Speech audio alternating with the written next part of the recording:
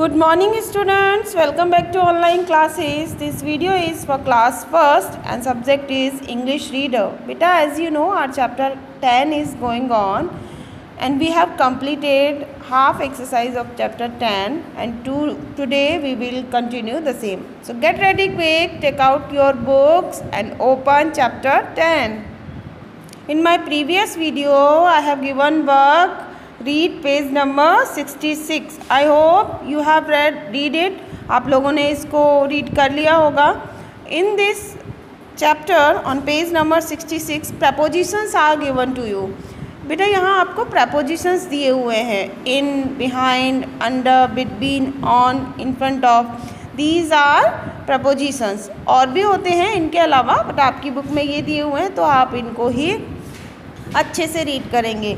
बेटा, मैंने कल बता दिया था आपको प्रपोजिशन होता क्या है। प्रपोजिशन होता है किसी भी सेंटेंस में टू और मोर थिंग्स के बीच क्या करता है रिलेशन जो होता है, उसको स्थापित करता है या रिलेशनशिप को बनाए रखता है। टू थिंग्स का रिलेशन भी बताता है, ऐसे हम बोल सकते हैं। Now come on the exercise on page number sixty seven C one complete the following sentences using on in under in front of between behind. Use picture clue. Picture clues आपको दिए हुए हैं। ये सी अच्छे से पिक्चर देखेंगे आप और ये एक्सरसाइज फील करेंगे। इज़ दैट क्लियर बेटे? So, the book is the table. Table के कहाँ पर है बुक? देखो दिस इज़ टेबल और टेबल के कहाँ है बुक? ऊपर। तो अपन क्या लिखेंगे? The book is on the table on means होता है बेटा ऊपर ऑन मीन्स ऊपर। The monkey is the wall this is wall and this is monkey तो मंकी कहाँ है वॉल के? Monkey is behind the wall behind means होता है बेटा पीछे B E H I N D behind behind means पीछे। There are ten flowers blank the vase vase this is vase and these are flowers तो flowers कहाँ है in the vase in the vase in means अंदर in means अंदर okay the cat is the chair see it is cat and it is chair chair और chair chair पे कहाँ है cat chair के नीचे। तो बेटा अंडर अंडर मीन्स होता है नीचे।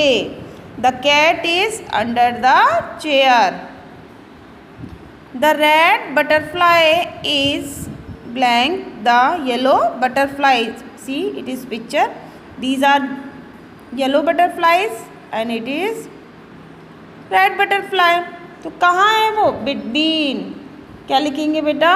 बिटवीन बिटवीन मीन्स बीच में। B E T W double E N between ठीक है? बिटवीन मीन्स बीच में। The car is the house car कहाँ है? ये घर है और ये कार है। तो कार है बेटा in front of in front of means होता है सामने। In front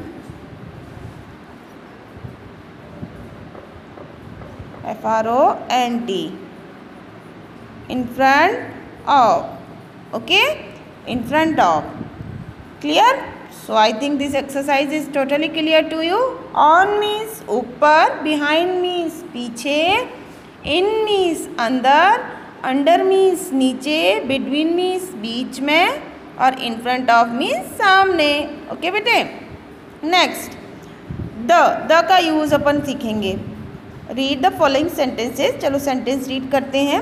A frog was jumping around a pond the frog was feeling hot an elephant was sitting under a tree the elephant was hungry one rule is given to you ध्यान से, एकदम ध्यान से सुनेंगे बच्चों. When we speak of a person animal an animal और a thing for the first time ये मैं आपको ग्रामर के जब मैंने आर्टिकल्स कराए थे तो उसमें बताया था बेटा। लेकिन एक बार फिर से कर लेते हैं। जब भी हम किसी व्यक्ति, जानवर और वस्तु को फ़र्स्ट टाइम इंट्रोड्यूस करते हैं, पहली बार उसके बारे में कुछ बताते हैं। वी यूज़ ए और एन तो हम article according the word a और एन यूज़ करते हैं। But when we speak of them again लेकिन जब दोबारा उनके बारे में बात करते हैं वी यूज़ द तो हम क्या यूज़ करते हैं? द यूज़ करते हैं। टू एग्जाम्पल्स आपको दिए हुए हैं। देखो फ़र्स्ट टाइम जब फ्रॉक को इंट्रोड्यूस किया तो क्या क्या ए ए आर्टिकल यूज़ किया? फिर सेकेंड टाइम जब फ्रॉक को यूज़ किया, यानी फ्रॉक से सेंटेंस बनाया तो क्या यूज़ किया बेटा? द यूज़ किया। ये जो द फ्रॉक अपन ने यूज़ किया है ना इट मीन्स हम उसी फ्रॉक के बारे में बात कर रहे हैं।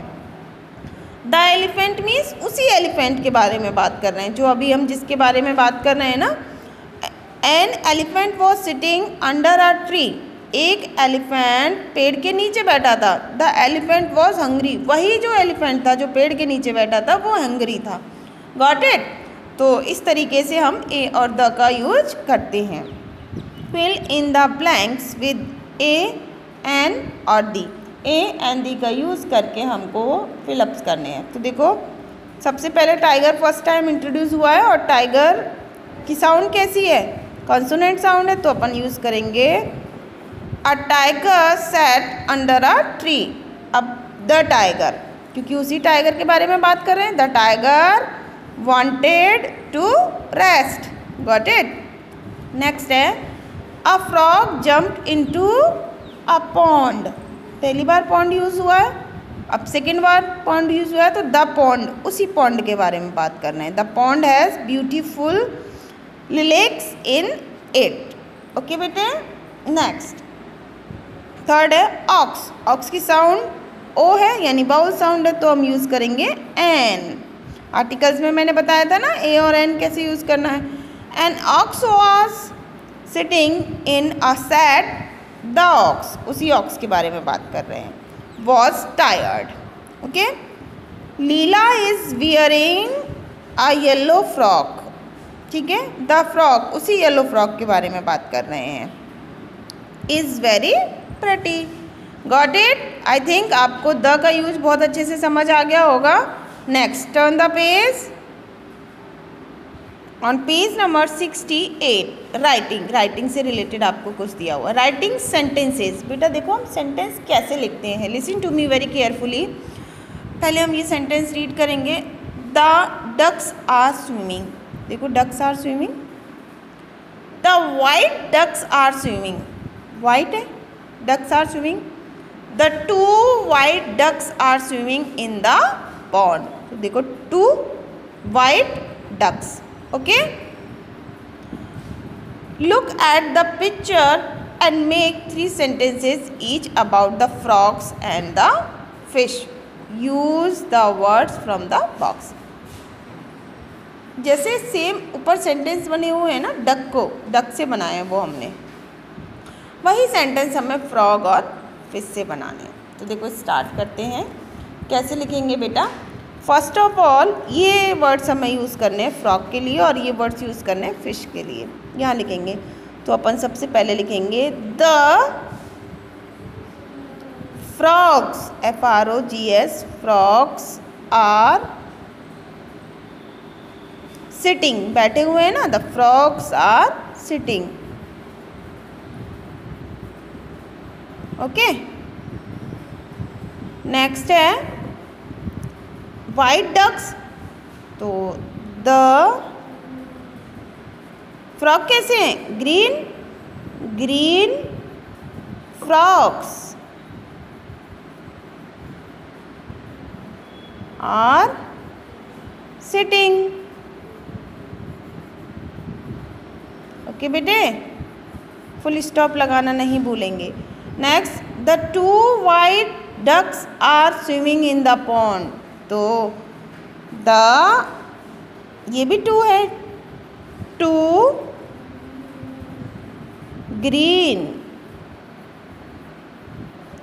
frogs are sitting कहाँ बैठे हैं वो? On the leaves. लीव्स के ऊपर बैठे हैं ना? Got it remaining one you will do yourself ये आप अपने आप करोगे फ़िश से बनाओगे। कैसे बनाओगे? The fish are swimming the red fish are swimming the three red fish are swimming in the pond okay बेटे? नेक्स्ट ओके बेटे? Now come on page number sixty nine sixty nine पर आपको, बेटा ये जो एक्सरसाइज आपको दी हुई है ना साउंड्स ऑफ़ इंग्लिश तो इसको आप अच्छे से रीड किया करें। इससे आपको पता चलेगा कि किस वर्ड को कैसे प्रोनाउंस करते हैं ओके तो देखिए टो मो रॉल कॉम अब यहाँ सुनना ध्यान से। Toll coat rope, toast. यहाँ बड़े हो क्या आवाज़ आ रही है ना? टोल। थोड़ा ज़्यादा स्ट्रेस देना पड़ रहा है। Coat, rope, toast. और यहाँ easily toe, mow, roll, comb. तो ये डिफरेंस आप समझने की कोशिश करें। ओके बेटा? टर्न द पेज सी बेटा? पेयर में दी हुई है साउंड वर्ड्स की साउंड पल ध्यान से सुनना। Pal wok girl call pole woke, goal, cold. Difference समझ आया? यहाँ बिल्कुल लाइटली स्ट्रेस है, बिल्कुल हल्के से बोल पा रहे हैं हम। यहाँ हमें थोड़ा सा स्ट्रेस देना पड़ रहा है। तो आप भी इनको बस आपको रीड करना है, लिखना नहीं है। ओके बेटे? So our chapter ten is complete now in the next video we will do chapter eleven तब तक आप अपना वर्क कंप्लीट कर लेना और अपनी अपनी ब्रांचेज में चेक करने के लिए भेज देना। ओके बेटे? Stay safe stay home